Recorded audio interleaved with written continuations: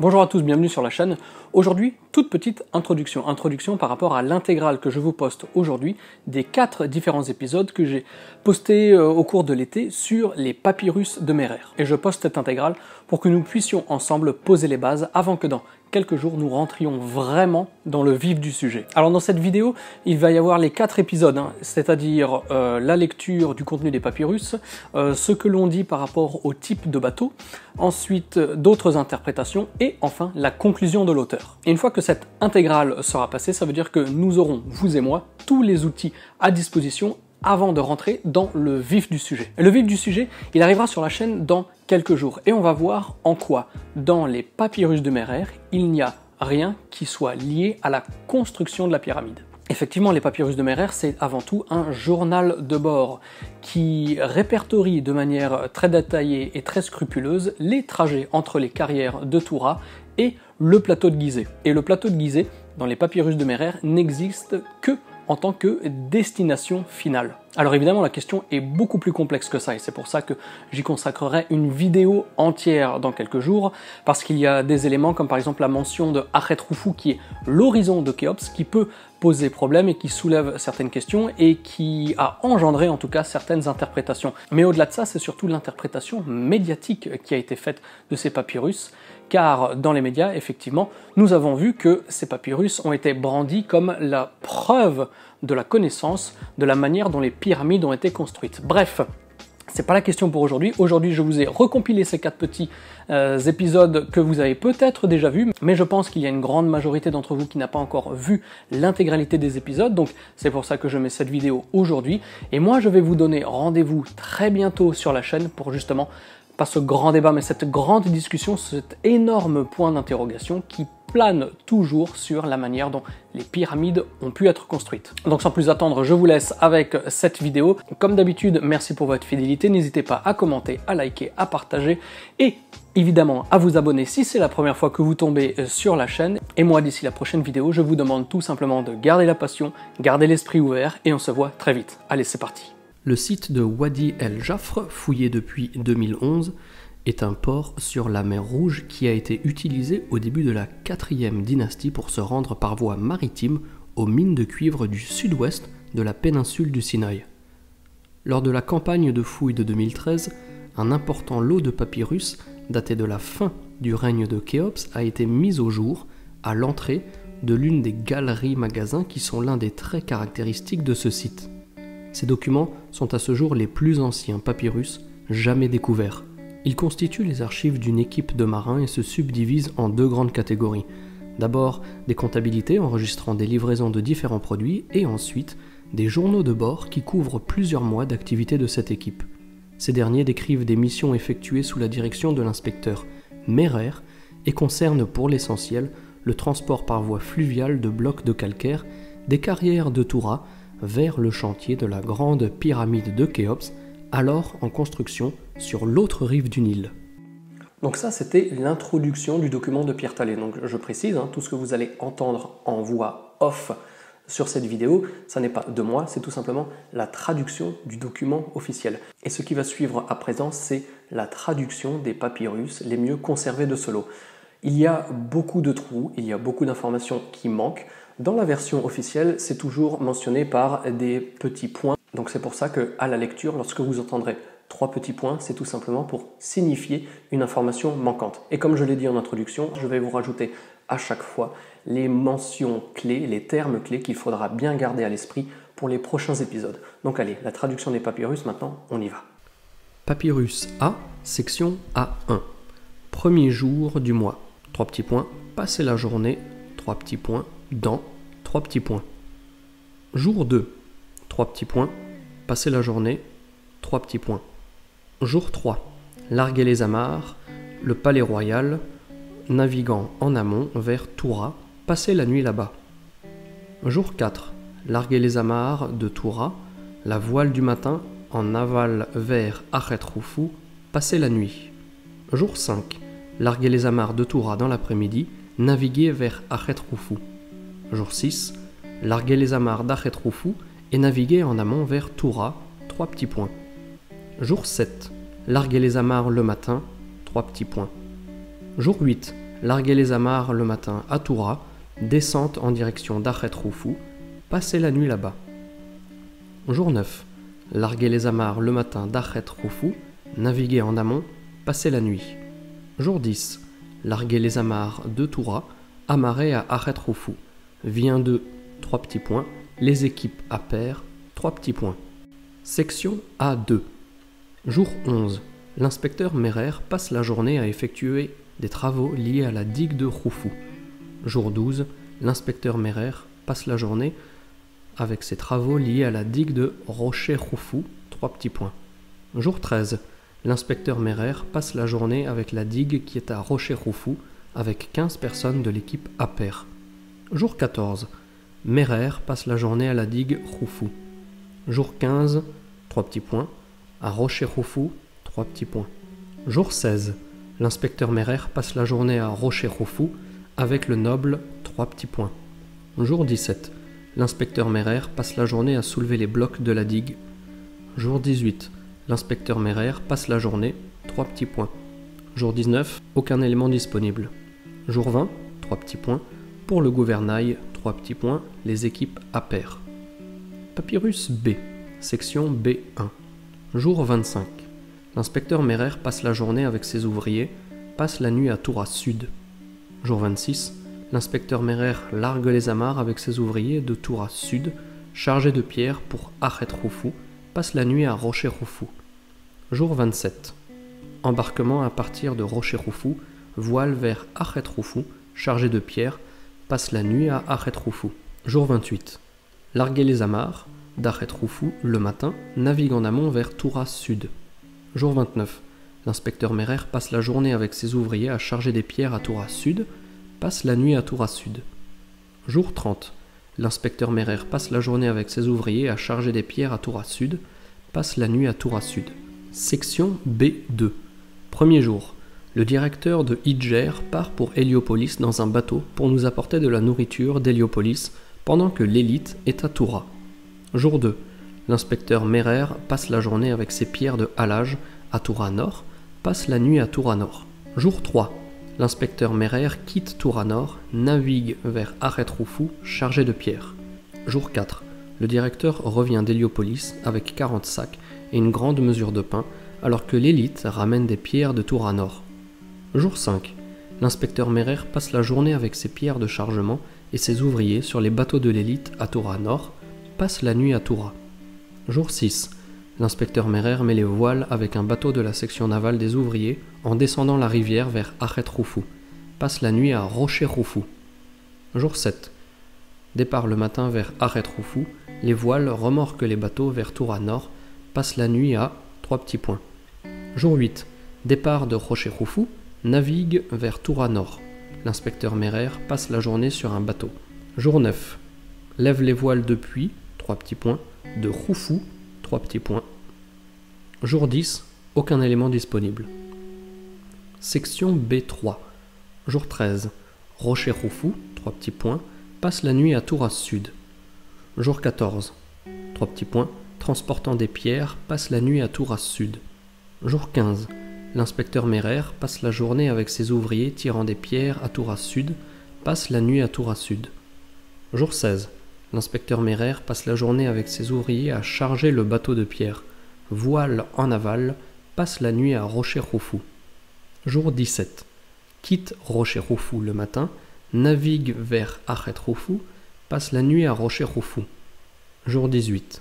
Trois petits points, les voiles, trois petits points, passe la nuit à Touras Sud. Jour 19. L'inspecteur Merer passe la journée à transporter des pierres à Toura. Jour 20. Merer passe la journée à transporter des pierres à Toura Sud, charge 5 bateaux, passe la nuit à Toura. Section B4, jour 21. L'inspecteur Merer passe la journée avec ses ouvriers en train de charger un navire de transport à Toura Nord, quitte Toura dans l'après-midi. Jour 22. Passe la nuit à Rocher-Roufou. Dans la matinée, lève les voiles de Rocher-Roufou, navigue vers Achet-Roufou, passe la nuit aux chapelles d'Achet-Roufou. Jour 23 le directeur passe la journée avec sa section navale à Rocher-Roufou, car une décision de lever les voiles a été prise. Passe la nuit à Rocher-Roufou, jour 24. L'inspecteur Merer passe la journée avec ses ouvriers à transporter avec ceux qui sont sur le registre de l'élite, les équipes à pair et le noble Enraf, directeur de Rocher-Roufou. Jour 25, l'inspecteur Merer passe la journée avec son équipe à transporter des pierres à Toura, passe la nuit à Toura Nord. Jour 26, trois petits points, navigue vers trois petits points. En dépit de leur nature répétitive et fragmentaire, ces deux journaux de bord, qui présentent un enregistrement continu des activités des ouvriers de Merer sur une période qui pourrait s'étendre de 3 à 5 mois, ont une valeur historique exceptionnelle. Ils fournissent un témoignage unique, bien qu'indirect, de la construction d'un monument extraordinaire, c'est-à-dire la grande pyramide de Khéops et l'ensemble des installations associées. Ce monument est clairement créé au moment même où ces documents sont écrits, et la personne qui tient le stylo à roseau, probablement l'inspecteur Merer lui-même, est sans aucun doute un témoin oculaire des œuvres en question. Malheureusement, il n'y a aucune mention des techniques de construction utilisées qui font actuellement l'objet de débats passionnés et contradictoires. Le but du narrateur est beaucoup plus modeste et se limite à la mission et aux activités de l'équipe, à savoir le transport fluvial de blocs de calcaire qui sont tirés vers la rive de la région de Toura et ensuite chargés sur des bateaux de marchandises destinés au site de construction de la pyramide. Ces blocs sont probablement, mais non exclusivement, utilisés pour le parement du monument.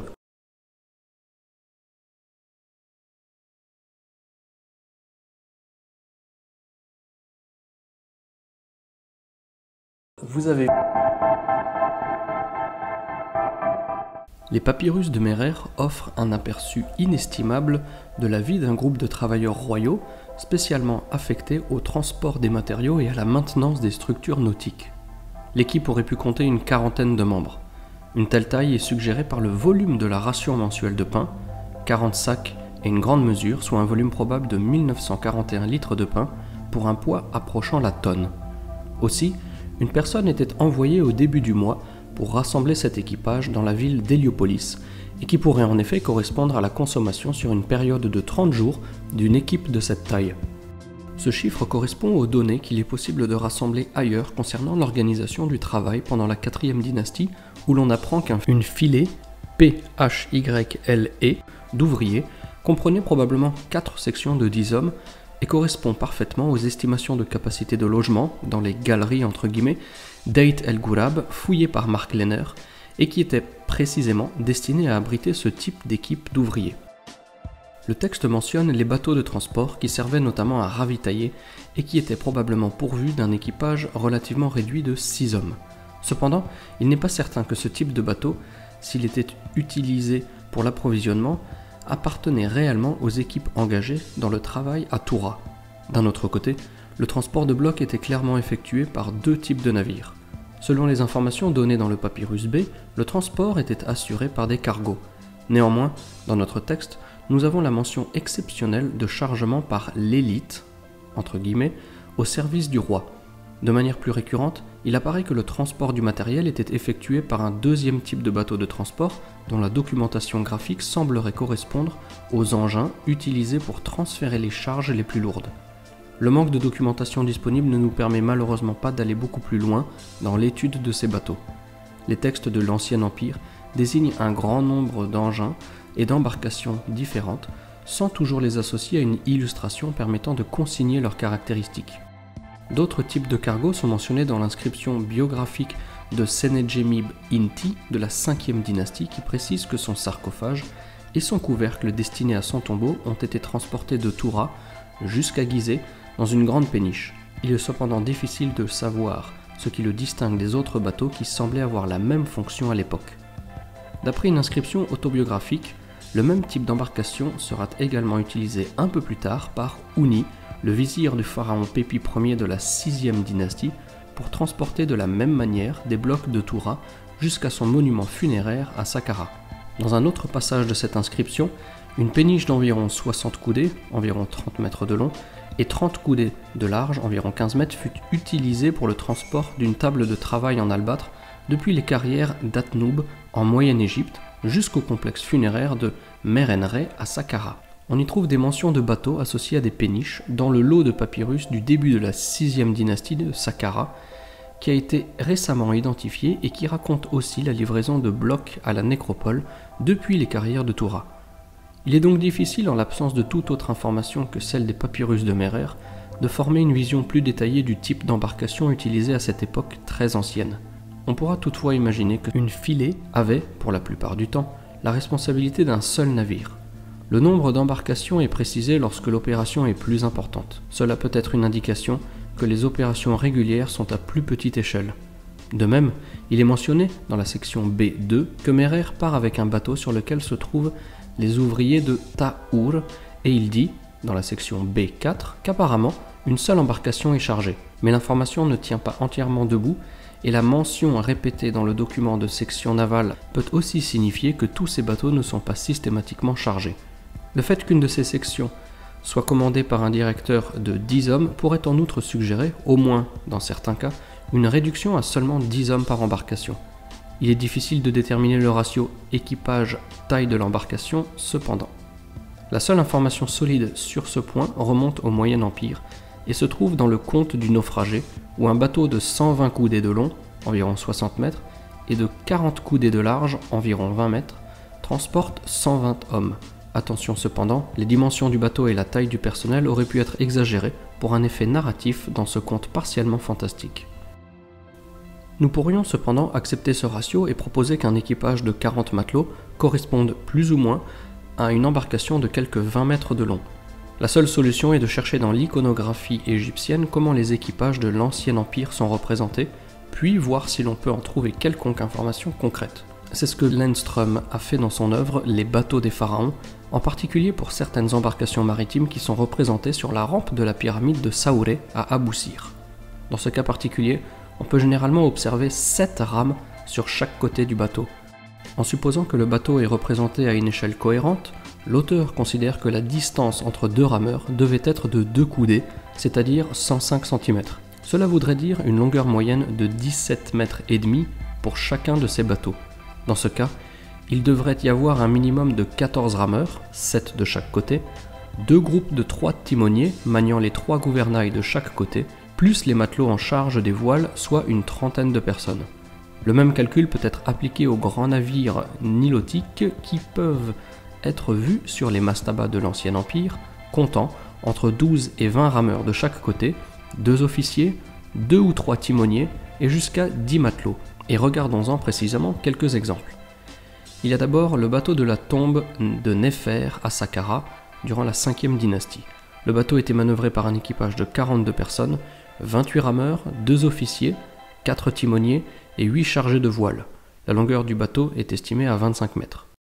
Le bateau du tombeau de Hotep à Saqqara, début de la 5 dynastie, manœuvré par un équipage de 46 personnes, 32 rameurs, 2 officiers, 6 timoniers, 6 chefs de voile.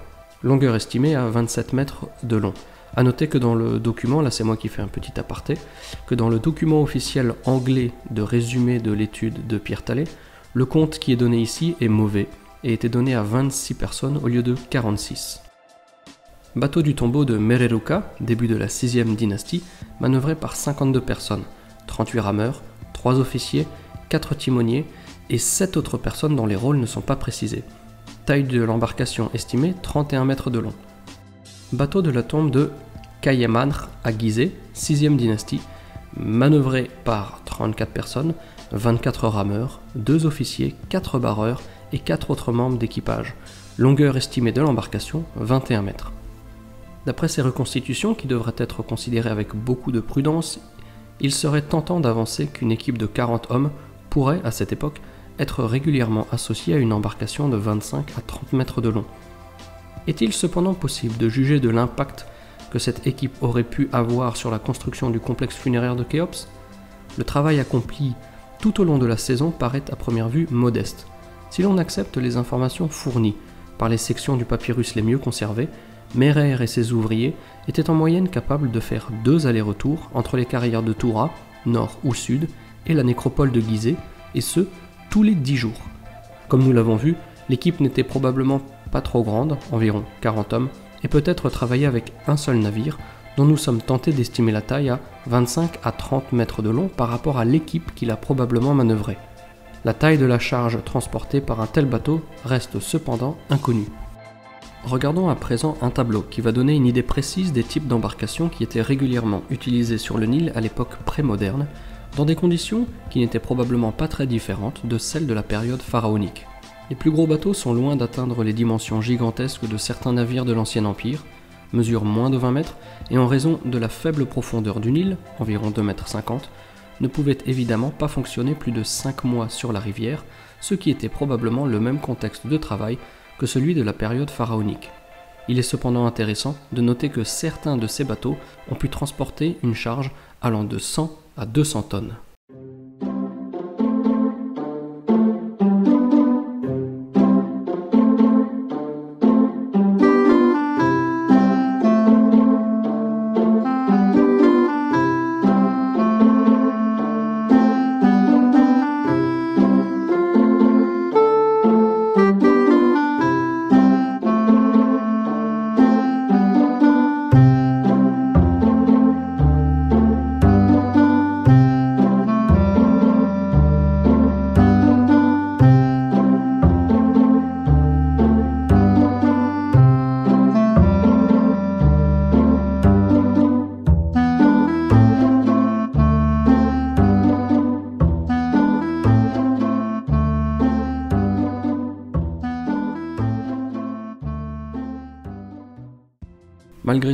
Est encore difficile de déterminer les charges transportées par les bateaux de l'époque pharaonique.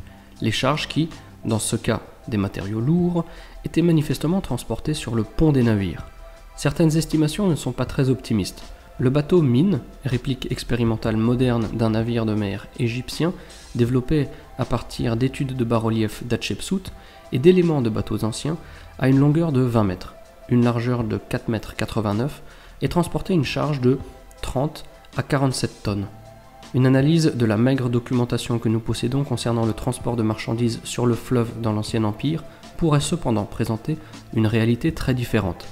Un bas-relief sur la chaussée de la pyramide d'Unas à Saqqara, déjà mentionné plus haut, montre un bateau chargé de deux colonnes palmiformes granitiques qui apparaissent l'une derrière l'autre sur toute la longueur du bateau. Merer et ses équipes auraient pu porter sur leur bateau une charge d'environ 70 à 80 tonnes, c'est-à-dire une trentaine de blocs de pierre destinés à la pyramide de Khéops, le poids moyen de chacun étant 2,5 tonnes. Comme pour toutes les opérations en cours sur ce gigantesque chantier, c'est par la régularité de la tâche que les chiffres commencent à compter.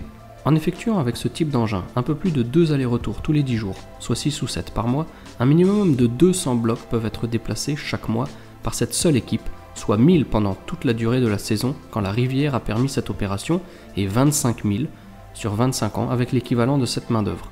Ce nombre doit être juxtaposé à ce qui est estimé nécessaire pour le revêtement extérieur de la pyramide de Khéops, dont le volume a été calculé à 67 390 mètres cubes de pierre. La masse volumique moyenne du calcaire étant d'environ 2500 kg par mètre cube, ceci représente un poids de 168 475 tonnes, soit un total de 67 390 blocs, avec un poids moyen par bloc de 2,5 tonnes. Aussi surprenant que cela puisse être, un nombre relativement limité de petites équipes, comme celle de Merer, aurait probablement su à long terme assurer le transport de Toura à Gizeh, des blocs nécessaires au revêtement extérieur de la pyramide. Néanmoins, certaines réserves peuvent être faites à cette extrapolation. Premièrement, l'utilisation du calcaire de Toura sur ce vaste chantier n'était pas limité à la seule pyramide. Enfin, pour des raisons pratiques, il n'est pas certain qu'ils aient systématiquement tenté de transporter une charge aussi lourde à la fois, même pour des raisons pratiques. Mais quel que soit le cas, besoin accru en matériel ou saison de travail plus ou moins courte, il reste encore probable qu'avec trois ou quatre autres bateaux d'ouvriers engagés aux côtés de l'équipe de Merer, la mission pourrait être bien accomplie.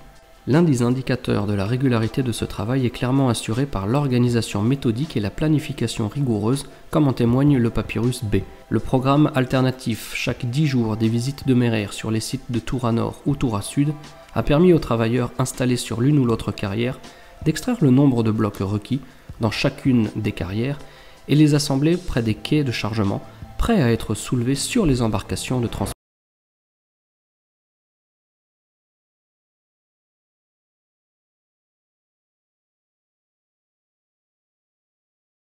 Malgré l'aspect très standardisé de ce texte, nous pouvons obtenir quelques indices visuels concernant le site de Gizeh. Le premier indice est la possibilité d'accéder directement au plateau à partir de Toura par voie fluviale grâce à une série de développements à grande échelle tels qu'ils ont pu être révélés dans les dernières années par Marc Lenner. C'est ainsi que le temple de la vallée du roi était probablement ouvert sur un immense lac artificiel dont on peut encore lire la trace dans la topographie actuelle de la région et qui pourrait notamment expliquer l'utilisation de la terminologie récurrente dans ces journaux de bord, chez Khufu, autrement dit la piscine de Khéops. Le terme est parfois explicitement développé dans chez Achet Khufu, comprenez la piscine de l'horizon de Khéops, ou Roche Khufu, l'entrée de la piscine de Khéops.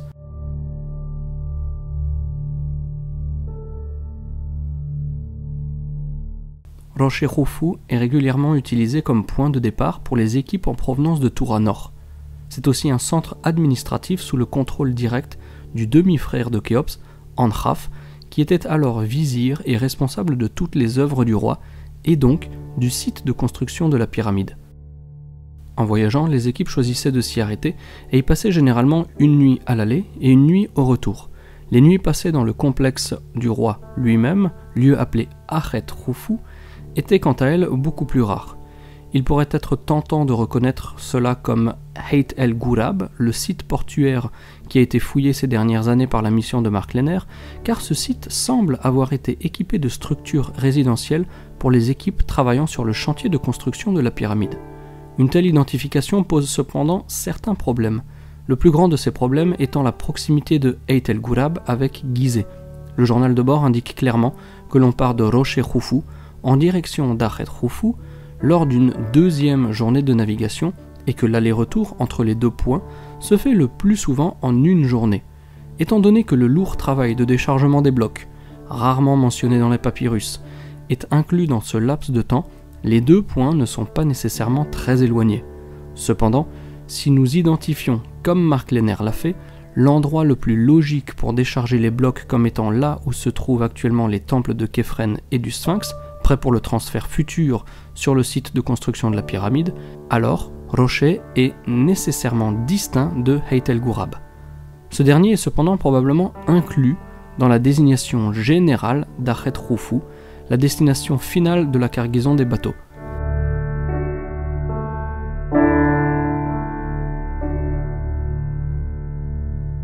Un autre toponyme pourrait correspondre plus exactement à ce site.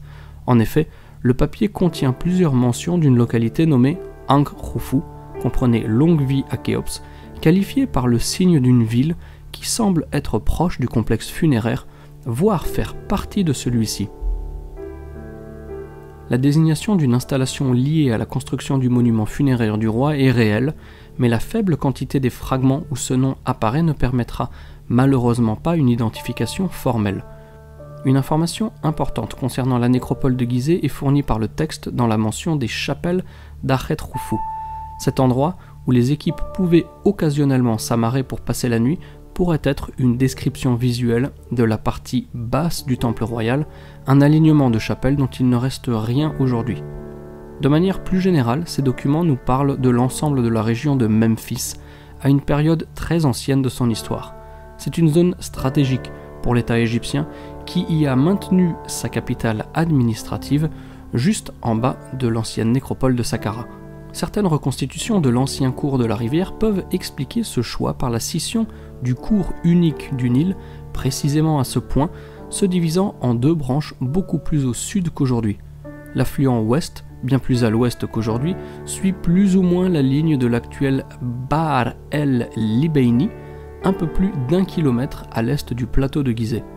Les carnets de Merer ne fournissent pas de confirmation de ce phénomène géologique, mais ils présentent cependant une image assez nouvelle de la zone entre Toura et Gizeh, à savoir une zone marquée par de grands développements hydrauliques entretenus par l'État et dont les points opposés sur le cours principal de la rivière n'étaient directement accessibles que par voie fluviale.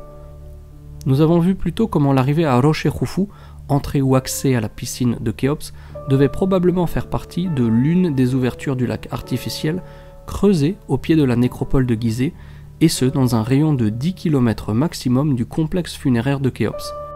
Étant donné que ce lieu n'est qu'une étape pour les bateaux venant des carrières les plus septentrionales, celle de Toura Nord, on pourrait imaginer une entrée de l'ensemble situé relativement plus à l'est de ce grand bassin, se trouvant au pied du plateau de Gizeh. Selon les informations fournies par le papyrus A, nous avons affaire à un point stratégique qui, lors des crues, permettait le contrôle du système hydraulique permettant l'accès au complexe de Gizeh par la levée de barrages installés à l'entrée du canal.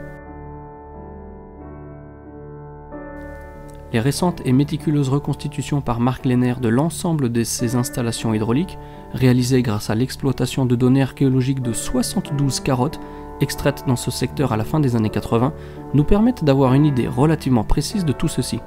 En particulier, les reconstitutions révèlent l'existence de deux élévations topographiques perceptibles, à présent occupées par les villages de Nazlet el-Sisi et Nazlet el-Batran, parallèles aux deux rives d'une avenue asséchée qui pourrait correspondre au point d'entrée de l'installation d'origine.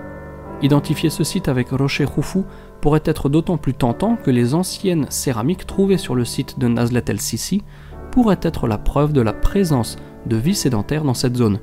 De manière générale, l'ensemble du document nous amène à voir un environnement naturel complexe mais parfaitement maîtrisé par les marins qui l'utilisaient.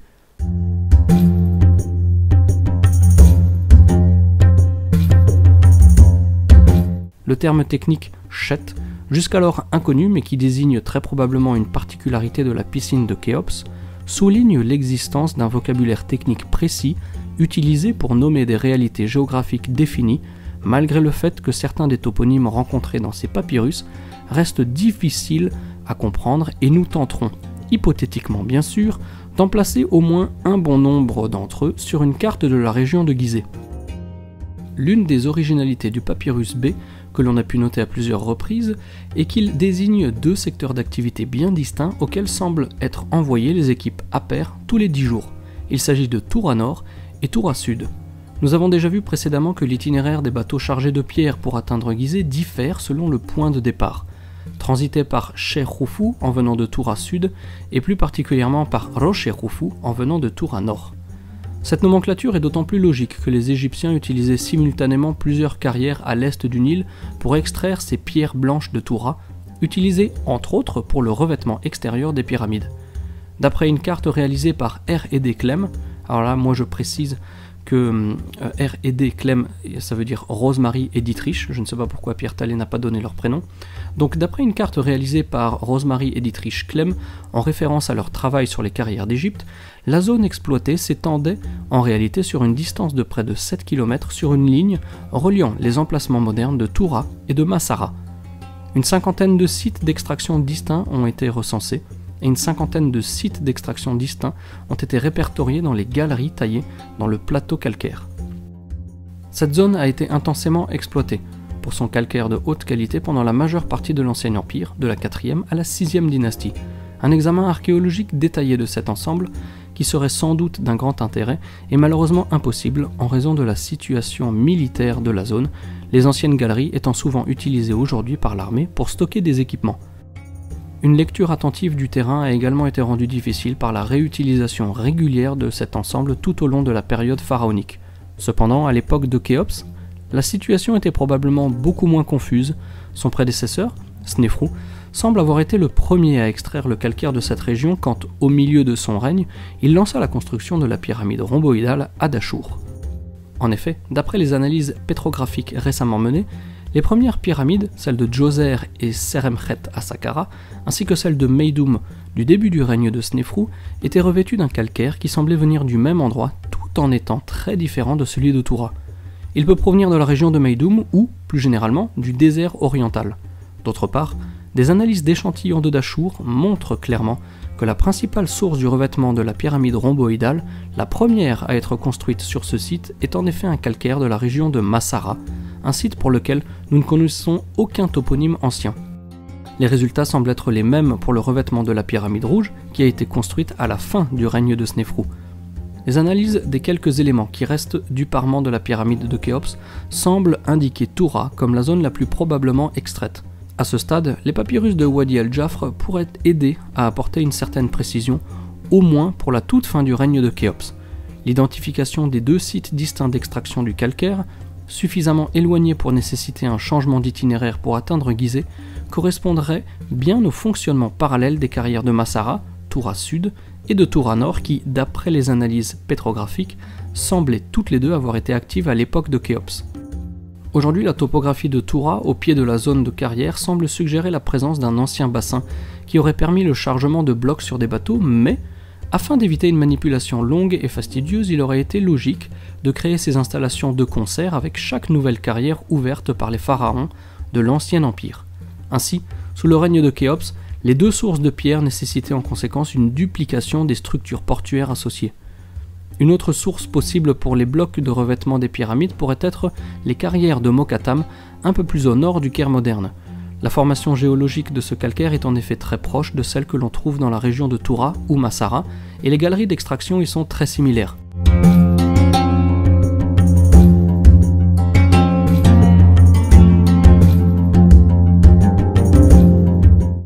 Le toponyme Toura Nord, qui apparaît dans le papyrus B, ne peut être identifié avec cette zone à cause du libellé même du document.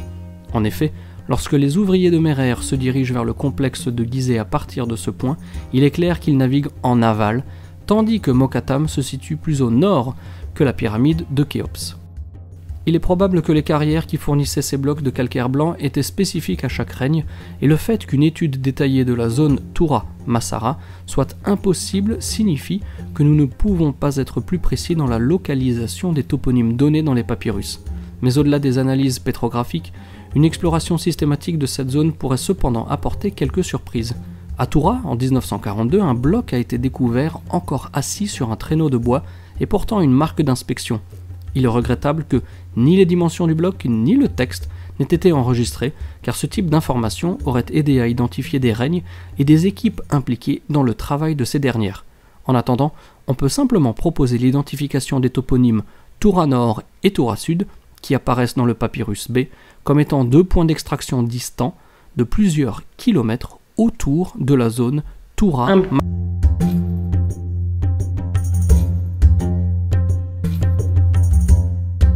Les papyrus A et B de Wadi el-Jafr, qui peuvent être considérés comme parmi les mieux conservés, fournissent des données très précises sur l'organisation du chantier royal, de la construction de la grande pyramide de Gizeh, à un moment qui correspond très probablement à la fin du règne de Khéops et à l'achèvement du monument.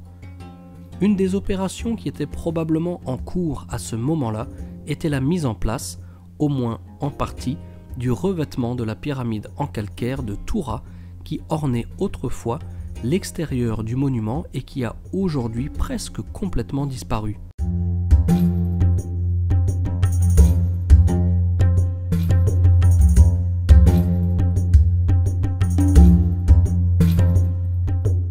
Pour l'exécution de cette opération, une équipe de bateliers, probablement composé d'une quarantaine d'hommes sous la direction d'un fonctionnaire de rang intermédiaire, l'inspecteur Merer, effectuait tous les dix jours une moyenne de deux ou trois allers-retours sur un ou plusieurs engins fluviaux entre les carrières de Toura et la zone du chantier.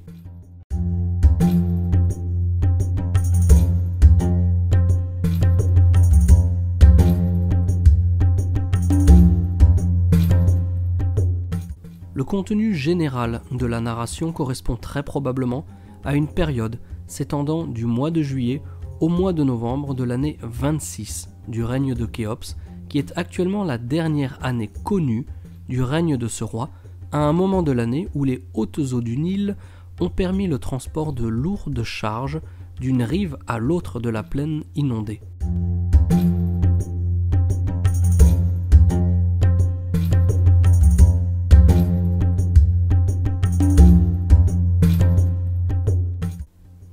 Le papyrus A, probablement chronologiquement le plus âgé, peut enregistrer le mouvement d'une main-d'œuvre importante impliquée dans la mise en service du bassin situé au pied du plateau de Gizeh.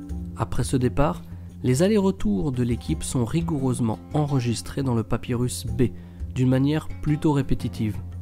Néanmoins, des informations supplémentaires sont recueillies au fur et à mesure des rapports quotidiens qui donnent une idée des conditions de navigation des aménagements sur les voies navigables, des lieux et du personnel lié au chantier pyramidal, y compris le célèbre vizir Anchraf, demi-frère du roi et superviseur du projet à ce stade avancé du règne.